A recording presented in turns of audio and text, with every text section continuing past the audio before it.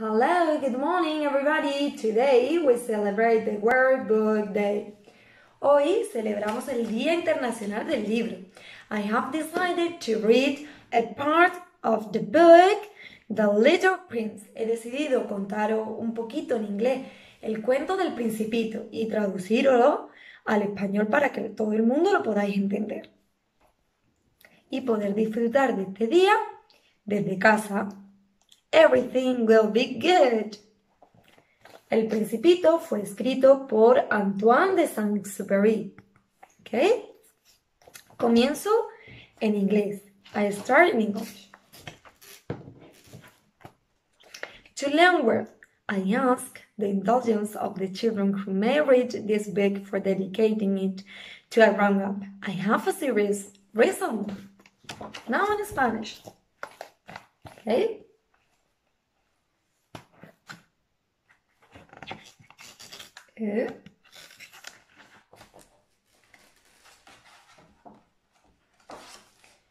A Leonworth, pido perdón a los niños por haber dedicado este libro a una persona grande. Tengo una seria excusa. He is the best friend I have in the world. Esta persona grande es el mejor amigo que tengo en el mundo. I have another reason. This grown up understands everything, even books about children. Tengo otra excusa. Esta persona grande puede comprender todo, hasta los libros para niños. I have a third reason. He lived in France where he's hungry and cold. He needs cheering up. Tengo una tercera excusa. Esta persona grande vive en Francia, donde tiene hambre y frío tiene una verdadera necesidad de consuelo. If all these reasons are not enough, I will dedicate the book to the child from whom this grown-up grew. Si todas estas excusas no fueron suficientes, quiero dedicar este libro al niño que esta persona grande fue en otro tiempo. All grown-ups were once children. Todas las personas grandes han sido niños antes. Although few of them remember it. And so I correct my dedication to Leonworth when he was a little boy. Pero pocas lo recuerdan. Corrijo pues, mi dedicatoria es para Leonworth cuando era niño. Chapter 1 Capítulo 1 Once, when I was six years old, I saw a magnificent picture in a book, in a book called True Story for Nature about the primary force. It was a picture of a boa constrictor in the art of swallowing an animal. Here is a copy of a drawing. Cuando yo tenía seis años, vi una vez una lámina magnífica en un libro sobre el bosque virgen, que se llamaba Historias vividas.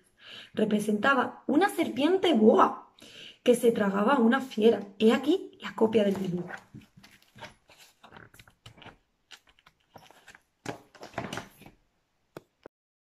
The book said, Boa constrictor swallows your prey whole without sharing it. After that, they are not able to move. And they sleep through the six months that they need for digestions. El libro decía, las serpientes boas tragan sus presas enteras sin masticarlo, luego no pueden moverse y duerme durante los seis meses que dura la digestión. And after some work with a color pencil, I succeeded in making my first drawing. My drawing number one. It looked like this.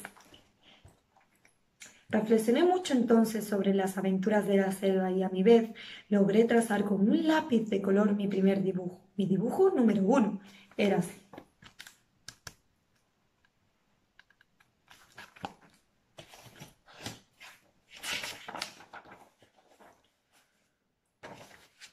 I showed my masterpiece to the grown up and asked them whether the drawing frightened them. Hmm. Mostré mi obra maestra a las personas grandes y les pregunté si mi dibujo las, les asustaba. ¿Qué creéis que va a contestar? But they answered, frightened, frightened. Why should anyone be frightened by a hat? Las personas mayores le decían, pero ¿por qué nos vamos a asustar? Si es un simple dibujo de un sombrero.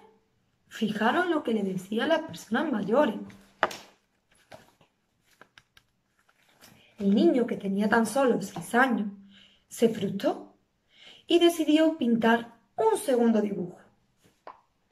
The grown-up respond this time, advised to lay aside my drawings of boa constrictor, whether from the inside or or the outside, and devote myself instead to geography and history or arithmetic and grammar.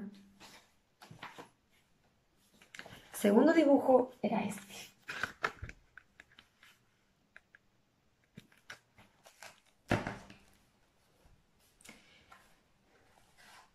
Mi dibujo no representaba un sombrero, representaba una serpiente boa que digería un elefante. Dibujé entonces el interior de la serpiente boa, a fin de que las personas grandes pudiesen comprender. Siempre necesitan explicaciones.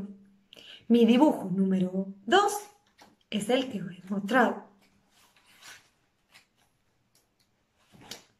Las personas grandes me aconsejaron que dejara a un lado los dibujos de serpientes boas abiertas o cerradas y que me interesara un poco más en la geografía, en la historia, en el cálculo y en la gramática.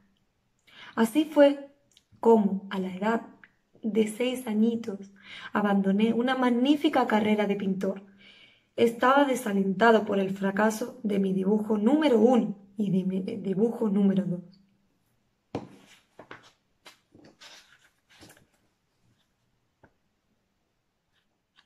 Grown up never understand anything by themselves, and it is tiresome for children to be always and forever explaining things to them. Las personas grandes nunca comprenden nada por sí sola. Y es agotador para los niños y niñas tener que darle siempre explicaciones. Imaginar el protagonista del cuento, que ahí tenía tan solo seis añitos, lee una vez un cuento donde dice que la boas tragaba su eh, presa entera. Entonces, claro, a él le causó curiosidad y decidió pintar su primer dibujo, que era una serpiente con una fiera dentro. ¿Qué ocurrió? Que él siempre se lo enseñaba a las personas mayores, es decir, por ejemplo, a sus abuelos, abuelas, a su papá, a su mamá. ¿Y qué le decía? A mi miedo no me da, porque es un sombrero.